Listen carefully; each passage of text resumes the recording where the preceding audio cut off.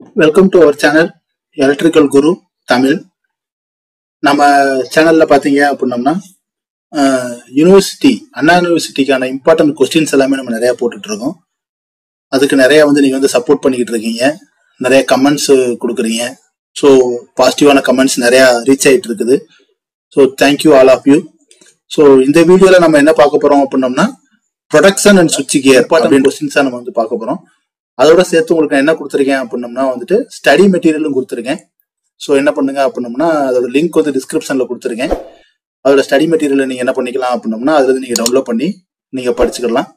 ஓகேங்களா ஸோ இப்போ அந்த ப்ரொடக்ஷன் சுவிட்ச் கேர்ல நம்ம இம்பார்ட்டன்ட் கொஸ்டின்ஸ் நம்ம கொடுத்துருக்கிறது வந்து ஸோ நீங்க வந்து கொஞ்சம் நல்லா படிக்கிற ஸ்டூடெண்ட் மார்க் கொஞ்சம் அதிகமா எடுக்கணும்னு நினைக்கிறீங்கன்னா எல்லா கொஸ்டினையும் படிச்சுக்கோங்க. இது நம்ம எல்லா வீடியோலும் நம்ம சொல்றது தான் ஸோ இப்போ உங்களுக்கு வந்து பாஸ் ஆனா மட்டும் போதும். எனக்கு வந்து ஒரு கொஞ்சம் மார்க் ஒரு சீக்கிரம் வரைக்கும் எடுத்தா போதும்னா நம்மளோட கொஸ்டினை வந்து நீங்க ஃபாலோ பண்ணிக்கலாம். ஓகேங்களா? ஸோ வாங்க நம்ம வீடியோக்குள்ள போயிடலாம். ஸோ ஃபர்ஸ்ட் பாத்தீங்க அப்படின்னா யூனிட் ஒன் இதுல நீங்க என்ன படிக்கணும்னு பாத்தீங்கன்னா மெத்தட்ஸ் ஆஃப் நியூட்ரல் கிரவுண்டிங் இந்த கொஸ்டின் வந்து கண்டிப்பா நம்ம படிச்சிருக்கணும். செகண்ட் கொஸ்டின் பாத்தீங்கன்னா essential quality of protective relay அடுத்து பாத்தீங்க அப்படின்னா nature of occurrence and types of fault எப்படி வந்து ஃபால்ட் அக்கர் ஆகுது என்னென்ன டைப்ஸ் இருக்குன்னு சொல்லி கொஸ்டின் இருக்கும். நம்ம மெட்டீரியல்லே அது இருக்குது ஓகேங்களா? ஸோ அதை கொஞ்சம் படிங்க. நெக்ஸ்ட் பாத்தீங்கன்னா primary and backup protection primary protection என்ன? பேக்கப் ப்ரொடக்ஷன் என்னன்றது நம்ம கொடுத்துருக்கோம். ஸோ இன்னொன்று என்னன்னு பாத்தீங்கன்னா இப்போ நம்ம ஒரு ஒரு யூனிட்டுக்கும் நாலு கொஸ்டின் அந்த மாதிரி தான் கொடுப்போம். ஓகேங்களா ஸோ இந்த நாலு கொஸ்டின் நீங்க சாய்ஸ் விட்டு படிக்காதீங்க. ஸோ மேக்ஸிமம் ஃபுல்லாகவே படிங்க. நாலு கொஸ்டினுமே படிக்கிறதுக்கு பாருங்க. அப்பதான் உங்களால் யூனிவர்சிட்டியில் எல்லா கொஸ்டினும் அட்டன் பண்ண முடியும். ஸோ வீடியோவை ஸ்கிப் பண்ணாதீங்க. நான் என்ன பண்ணியிருப்பேன் அப்படின்னம்னா எந்தெந்த கொஸ்டின் எப்படி படிக்கணும் அப்படின்றலாம் நான் சொல்லியிருப்பேன். ஸோ கொஞ்சம் கண்டினியூஸாக பாருங்க. நெக்ஸ்ட் யூனிட் டூ இதில் பார்த்தீங்க அப்படின்னம்னா நான் டைரக்ஷனல் ஓவர் கரண்ட் ரிலே கண்டிப்பாக படிச்சிருக்கணும். இந்த கொஸ்டின் வந்து ரிப்பீட்டடாக கேட்டுகிட்டே இருக்காங்க. நெக்ஸ்ட் பார்த்தீங்கன்னா நெகட்டிவ் சீக்வன்ஸ் ரிலே இந்த நெகட்டிவ் சீக்வன்ஸ் ரிலே பொறுத்த வரைக்கும் சில நேரம் எயிட் மார்க் அந்த மாதிரி கூட கேட்பாங்க. ஸோ தேர்ட்டின் மார்க்லையும் கேட்கறதுக்கு நிறைய வாய்ப்பு இருக்கு. ஸோ அதுக்கு தகுந்த மாதிரி நீங்கள் வந்து படிச்சுக்கோங்க. நெக்ஸ்ட் பார்த்தீங்க அப்படின்னா impedance type distance relay with RX diagram இதில் பார்த்தீங்கன்னா மொத்தம் மூணு ரிலே இருக்கும். அதில் நம்ம என்ன பண்ணிக்கலாம்னா இம்பீடன்ஸ் டைப் ரிலே மட்டும் நீங்கள் பார்த்துக்கோங்க. நெக்ஸ்ட் பார்த்தீங்க அப்படின்னா டைரக்ஷனல் ஓவர் கரண்ட் ரிலே ஓகேங்களா? ஸோ இந்த நாலு கொஸ்டின் தான் வந்து யூனிட் டூல இருக்குது. நெக்ஸ்ட் யூனிட் த்ரீ பார்த்தீங்க அப்படின்னம்னா ப்ரொடெக்ஷன் ஆஃப் டிரான்ஸ்ஃபார்மர்ஸ் இப்போ இந்த யூனிட் த்ரீயை பொறுத்த வரைக்கும் மொத்தமே நம்ம ரெண்டு கொஸ்டின் தான் படிக்க போறோம். ஓகேங்களா அதில் ஃபர்ஸ்ட் கொஸ்டின் என்னன்னு பார்த்தீங்க அப்படின்னா ப்ரொடெக்ஷன் ஆஃப் டிரான்ஸ்ஃபார்மர் இந்த கொஸ்டினை பொறுத்த வரைக்கும் இந்த டிரான்ஸ்ஃபார்மரில் ஒரு நாலஞ்சு ப்ரொடக்ஷன் இருக்கும். எல்லாத்தையுமே படிச்சுக்கோங்க.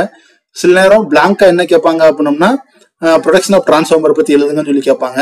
சில டைமில் ஸ்பெசிஃபிக்காக என்ன பண்ணிடுவாங்க அப்படின்னம்னா ஏதாச்சும் ஒரு ஸ்கீமை கொடுத்து அந்த ஸ்கீமை மட்டும் எழுதுங்கன்னு சொல்லிடுவாங்க. ஓகேங்களா ஸோ இதுல ரொம்ப இம்பார்ட்டன்டான என்னன்னு பாத்தீங்கன்னா சப் டிவிஷன்ல வந்து இன்ட்ரெஸ்ட் கரண்ட் ப்ரொடக்ஷன் சொல்லிட்டு ஒன்று இருக்கும். இன்னொன்று பாத்தீங்க அப்படின்னா மெர்ஸ் பிரைஸ் பிரின்சிபல் அதாவது டிஃபரன்சியல் ப்ரொடக்ஷன் ஓகேங்களா ஸோ டிஃபரன்சியல் ப்ரொடக்ஷன் நீங்க படிச்சுக்கிட்டீங்க அப்படின்னம்னா எந்த ஒரு ப்ரொடக்ஷனுமே எழுதலாம். ஃபார் எக்ஸாம்பிள் டிரான்ஸ்ஃபார்மரா இருக்கட்டும் ஜென்ரேட்டரா இருக்கட்டும் டிரான்ஸ்மிஷன் லைன் மோட்டார் எல்லாத்துக்குமே நீங்க யூஸ் பண்ணிக்கலாம். நடுவில் இருக்க காம்போனன்ட் மட்டும் மாத்தி மாத்தி போட்டு நம்ம யூஸ் பண்ணிக்கலாம். ஸோ வந்து அதை கொஞ்சம் படிச்சுக்கோங்க. நெக்ஸ்ட் பாத்தீங்க அப்படின்னா ப்ரொடெக்ஷன் ஆஃப் ஜென்ரேட்டர்ஸ் ஓகேங்களா? ஸோ இந்த ரெண்டு கொஸ்டின் படித்தாலே போதும். நம்ம என்ன பண்ணிடலாம் அப்படின்னோம்னா இந்த யூனிட்ல கண்டிப்பான ஒரு கொஸ்டின் எழுதலாம். ஸோ இம்பார்ட்டன்ட் கொஸ்டின் நீங்க இப்பதான் நீங்க ஃப்ரெஷ்ஷா படிக்க போறீங்க ஸ்டார்ட் பண்ண போறீங்க அப்படின்னா யூனிட் த்ரீல இருந்து ஸ்டார்ட் பண்ணுங்க. நெக்ஸ்ட் பாத்தீங்க அப்படின்னா யூனிட் ஃபோர் யூனிட் ஃபோர்ல ஃபர்ஸ்ட் கொஸ்டின் பாத்தீங்கன்னா ஸ்டாட்டிக் ஓவர் கரண்ட் ரிலே இது ரொம்ப ரொம்ப இம்பார்ட்டன்ட் கொஸ்டின் ரிப்பீட்டடா நிறைய டைம் கேட்டிருக்காங்க. ஸ்டாட்டிக் ஓவர் கரண்ட் ரிலே இந்த யூனிட் ரொம்ப சிம்பிளா தான் இருக்கும். நெக்ஸ்ட் பாத்தீங்க அப்படின்னா block diagram of numerical relay அந்த நியூமெரிக்கலோட பிளாக் டயக்ராம்ஸ் படிக்கணும். நெக்ஸ்ட் பார்த்தீங்கன்னா நியூமெரிக்கல் டிரான்ஸ்ஃபார்மர் ப்ரொடக்ஷன் இது வந்து ஜஸ்ட் டயக்ராம் போட்டு நீங்கள் வந்து எழுதுகிற மாதிரி தான் இருக்கும். அந்த சிம்பிளிஃபை டயக்ராம் எல்லாமே நான் உங்களுக்கு நான் மெட்டீரியல்ல கொடுத்துருக்கேன். அதை கொஞ்சம் கோத்ரூ பண்ணுங்க.